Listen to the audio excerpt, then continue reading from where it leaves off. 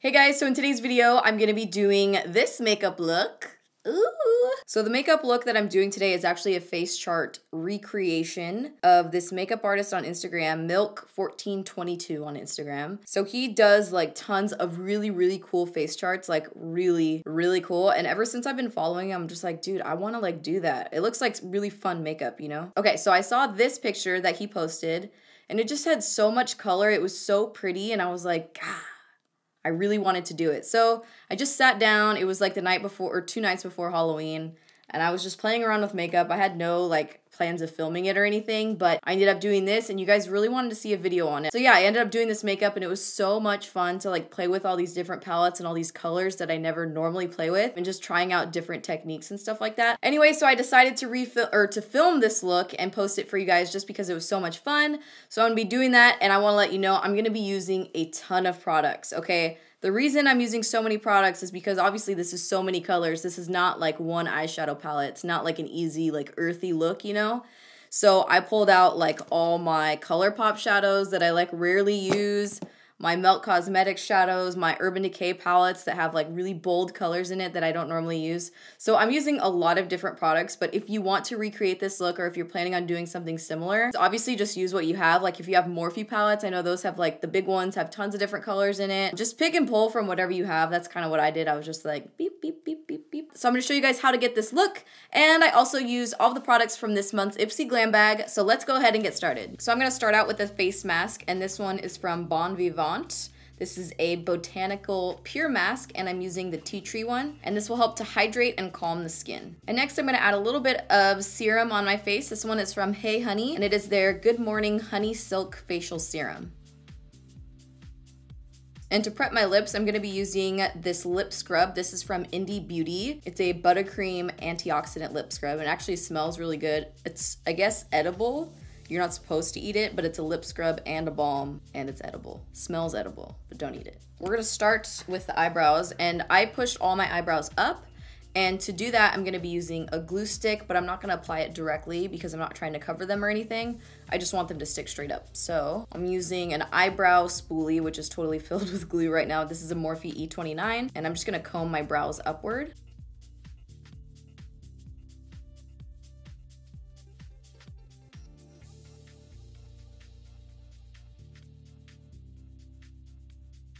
And then I'm gonna put some eyeshadow primer on. This is from MAC, the 24 Hour Extend Eye Base.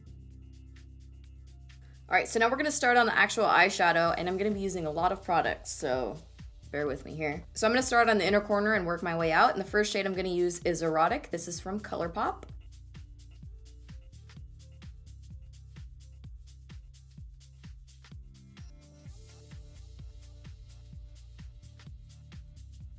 Now I'm gonna go in with Melt Cosmetics Radon.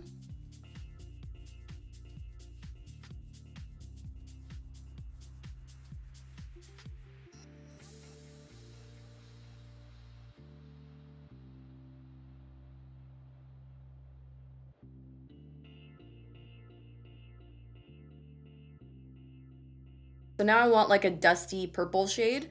So I'm going to use Delirious. This is from the Urban Decay Full Spectrum palette. I know I used a different purple when I did this look a couple days ago, but I have no idea what it was. So I'm gonna use this one today.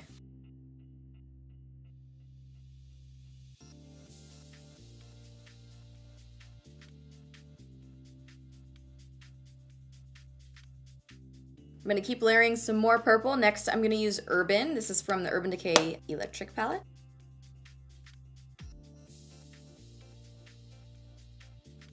For the lid color, I'm just gonna use Peach Smoothie.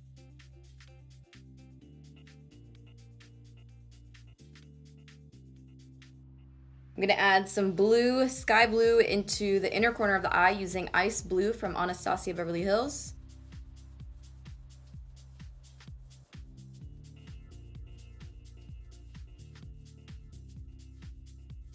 And for the brow highlight, I'm using this MAC pigment. This is Vanilla.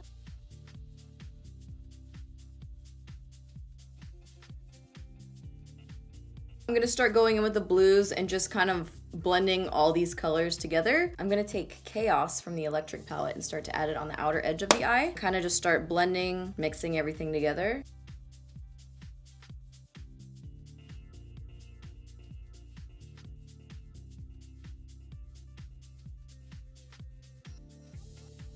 And to kind of tie in these colors together, I'm gonna use ColourPop Fantasy. Ooh.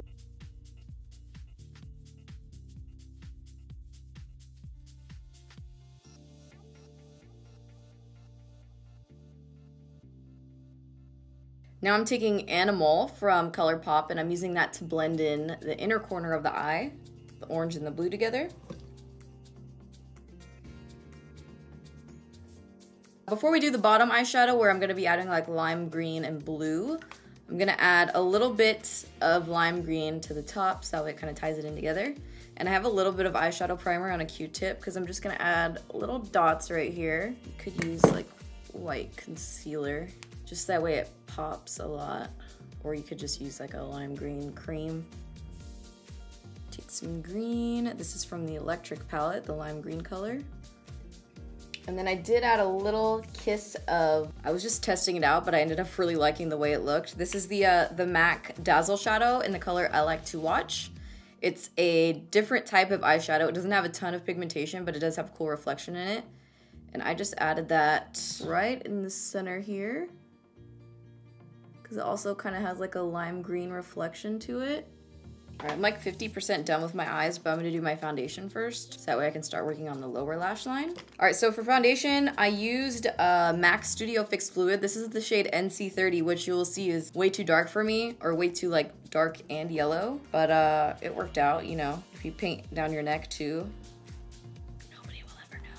so I really wanted a really full coverage foundation and the only shade of Studio Fix that I had was NC30. That's why I ended up using it. And then I realized like, wow, I forgot how full coverage it is. Like it looks so good. Um, and then I wanted to use a really bright highlighter. So it kind of worked with the contrast anyway. So I just rolled with it, you know? How dark that is. and I'm gonna highlight using Tarte Shape Tape in the shade Light.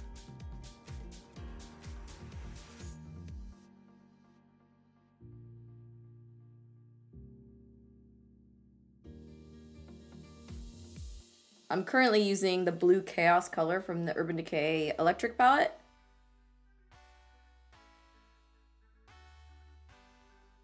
And now to drag the color down, I'm gonna mix a little bit of Chaos, this blue, with Gonzo, this brighter blue. Just a lot of mixing and blending.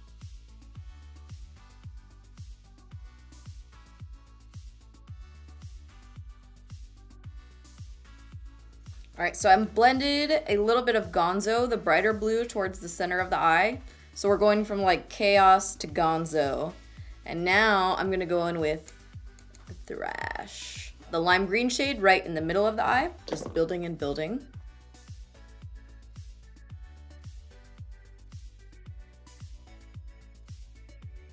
All right, now for the inner corner, I'm gonna start to use a little bit more of like sky blue and believe it or not, I did not have like any sky blue shadow, but I did find this quad. This is from L'Oreal. It's number 112 eyeshadow palette with some blue shadows in here. So I'm gonna use these two kind of mixed together for the inner corner and the drip down on the inside of the eye.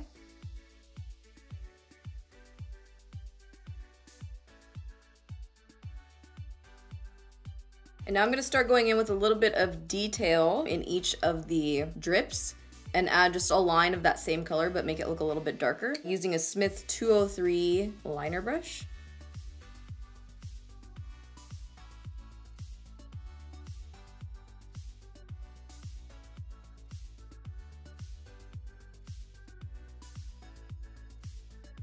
And then buffing out on the outer corners, I'm using Fantasy from ColourPop. It's like a really cool, like iridescent purpley adds a little bit of glitter and I feel like I can just bring it way, way out here. Now I'm just blending a little bit of the animal into the inner corner of the eye to kind of buff out some of that erotic shade.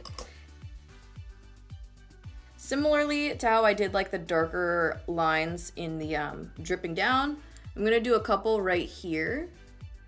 I'll use erotic, erotic from ColourPop and that angled brush. Just do a little drip right here. Just a little line. Obviously you can tell by now, but I used a lot of products in this look. Like literally, it was like all the products that I always want to use because they're so colorful, but I never do. Now I'm gonna go in with some liners. These are the Razor Sharp Urban Decay liquid eyeliners. This first one is in the color Fireball. I ended up using a bunch of these because I needed a white one and I was looking for my NYX one, but I couldn't find the NYX white one. And then I remembered I had all these, so I used a few different shades, but you know, you can use gel liner or no liner, darker eyeshadow, whatever you want. These ones are kind of cool because they're metallic. So I'm just gonna outline one side. Just kind of gives it a little more dimension. And then I'll do the green one because the green one's kind of hard to see on the drip. This is Kush. Hey, I'm just saying, Urban Decay, they're a little racy with their names.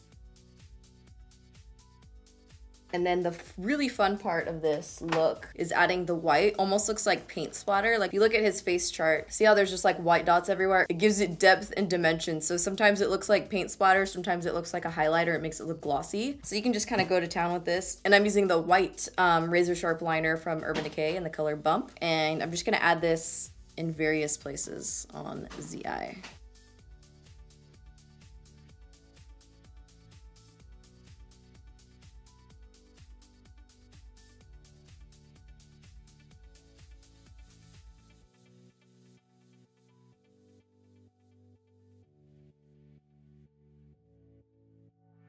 And then to just smoke out the lower lash line a little bit using some black eyeshadow. This is Corrupt from Makeup Geek.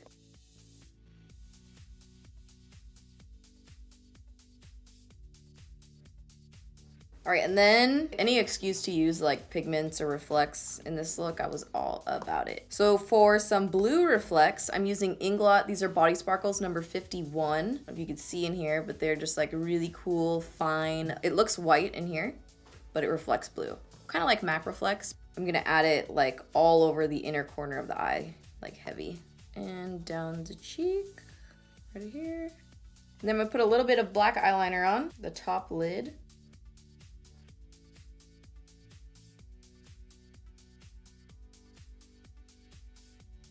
And then for mascara, I'm using one of my favorite mascaras. This is the Too Faced Better Than Sex Mascara. This is a super volumizing and lengthening mascara.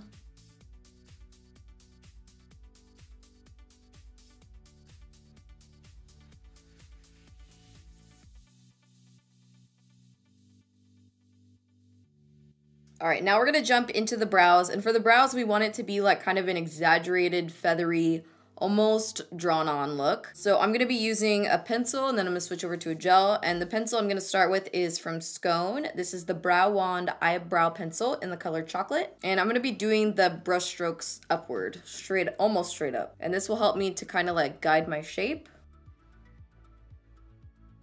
And now I'm gonna go in, this is actually with a, a, a ColourPop brow color in the shade Bangin' Brunette. I'm gonna use this brush that I used for um, the little lines, just an angled brush.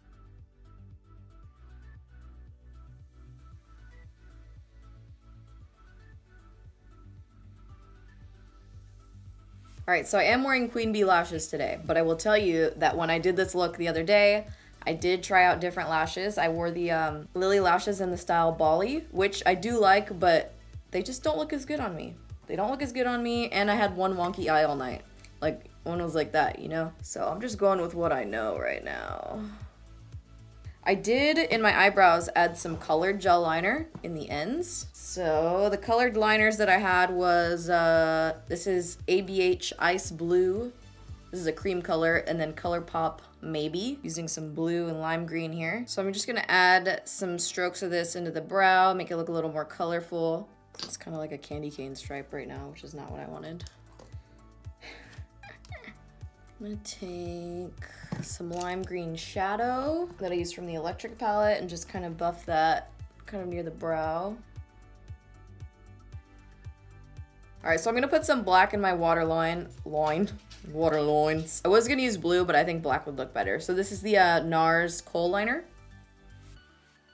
All right, so I'm gonna add a little bit of finishing powder to the highlight points of my face. And this one is from Japonesque. This is their pixelated color finishing powder in shade one, which is a universal finishing powder. It has a light glow built into it. So I'm gonna add it right here. Add some here.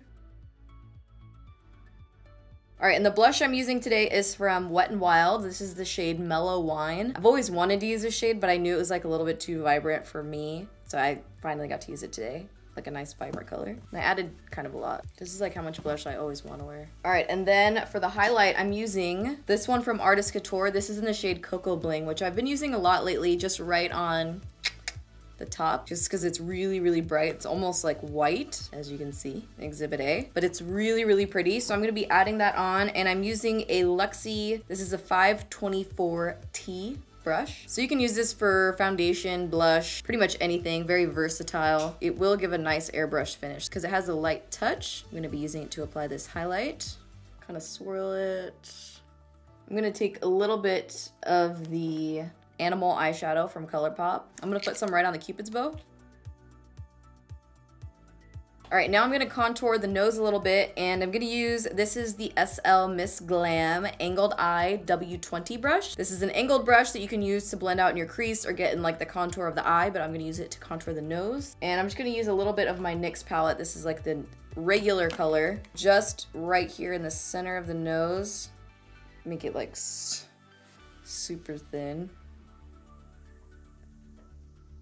And then for the tip of the nose, so I had some really cool shading right here down um, on the front of the nose. So I'm gonna use an eyeshadow brush and I'm gonna use like a dark brown, ashy dark brown color and just start shading the nose. A little button nose. This is Fawn from ABH that I'm using. And then I'm gonna come in with the darker brown.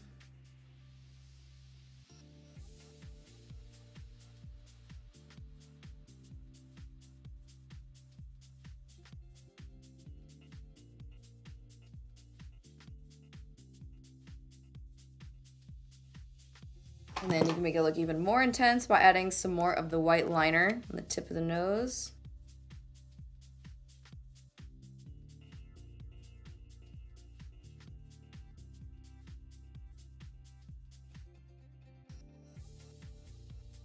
All right, then we're gonna contour the cheekbones. Some more.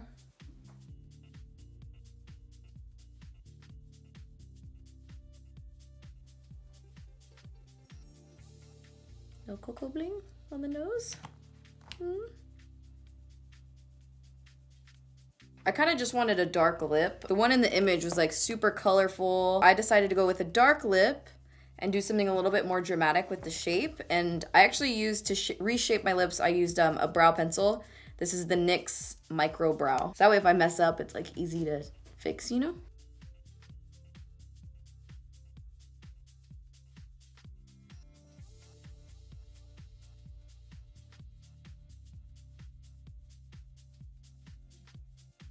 And now I'm gonna fill it in with some lipstick and I used the Too Faced Melted Matte. This is in the shade Evil Twin and I forgot how much I love this formula. It's so bomb. Lasts forever and it's like really comfortable. It's almost like a blackish purple.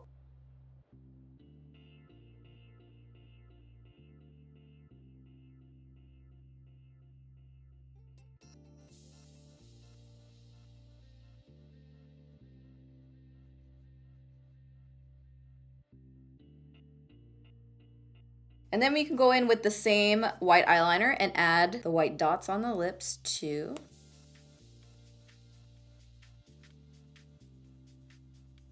Some highlighter, some cocoa bling. Heavy on this cupid's bow. All right, so the makeup is done. and now I'm gonna go put my wig on that I got. And what I like to do is put some product in my hair so that way my baby hairs well, these aren't called baby, these are straight up broken hairs. They don't frizz out. And I'm gonna use the Verb Ghost Oil. This is actually a smoothing oil, but it also helps to revitalize the hair. It's like a little treatment while I'm wearing my wig. So I'm just gonna put it here. All right, so now I have the wig on. I know I didn't film it because it's like a really awkward looking process. And then I put the beanie on. Look at that's like my broken hair sticking out. So I just threw um, the beanie on it, you can put a hat on or a beanie on. It's just, you don't have to worry about the hairline, you know, it makes it a lot easier. But I got this wig at the Fashion District. It's like a really pretty, like rosy, peachy color at one of the stores in the Fashion District. I think it was like 40 bucks or something. It was like a really good deal. That wraps up this makeup tutorial. I really hope you guys enjoyed it because I had so much fun doing this makeup look. Like I was actually excited having to do it again to film it. I really hope you guys enjoyed this video and thank you so much for watching. Whoa, cool. Oh god. Oh god. Yeah. Yeah. Ah! Zoe! What are you eating? Are you eating gum? It's crazy, nothing happened. Did you see that? Let's try that again. So hard for the money. Open it up a little bit, John. Yeah. Super cool. These little hairs, they're just trying so hard to go to the other side.